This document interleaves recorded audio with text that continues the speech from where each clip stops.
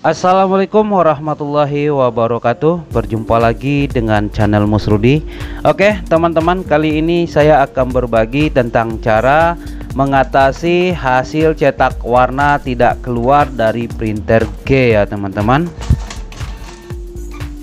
Oke kita akan lihat hasil dari printer ini ya teman-teman. Kita lihat uh, hasil dari printnya hanya warna hitam yang keluar ya teman-teman. Jadi warnanya tidak keluar sama sekali.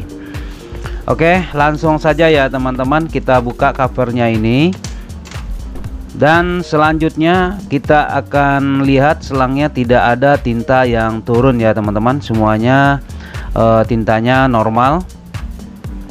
Tidak ada yang turun. Oke kita akan matikan printernya terlebih dahulu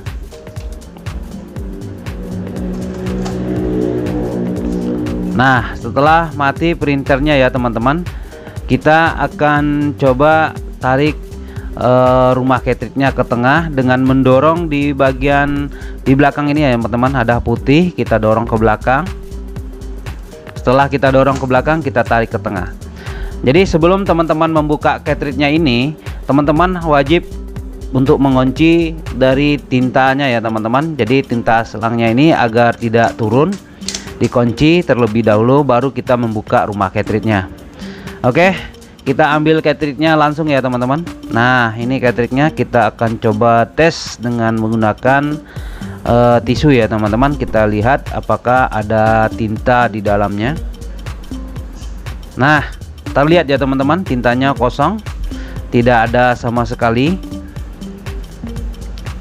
Oke uh, kalau tidak ada tintanya sama sekali ya teman-teman kita akan coba isi secara manual terlebih dahulu. Yang kita butuhkan yaitu 3 mili tinta masing-masing warnanya ya teman-teman. Dan ini alat sedot untuk uh, cartridge-nya. Oke teman-teman uh, langsung saja untuk pengisiannya. Di sebelah kanan kita akan isi dengan warna kuning Nah, ingat ya teman-teman di sebelah kanannya ini yaitu warna kuning. Kita isi dengan cara perlahan. Lanjut di sebelah kiri yaitu warna biru.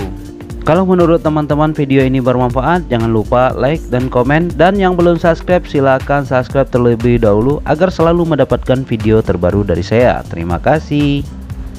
Oke dan terakhir di bagian atas yaitu warna merah ya teman-teman. Kita isi juga dengan cara perlahan menyuntikannya.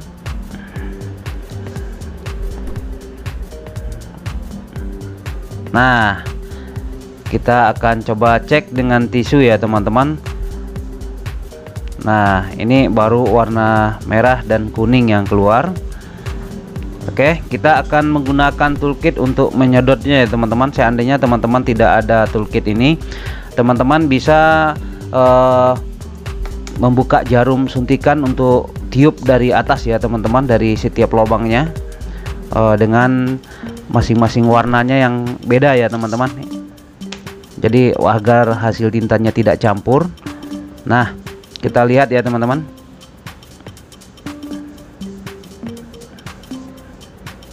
Nah, keluar ya teman-teman tiga warna. Jadi teman-teman kalau meniupkannya dengan suntikan, teman-teman harus menampung di bagian bawahnya dengan tisu ya teman-teman. Oke, selanjutnya kita akan pasang ya teman-teman. Kita akan coba tes hasil dari cartridge-nya. Oke, kita untuk memasang ini kita tutup rumah ketriknya terlebih dahulu ya teman-teman.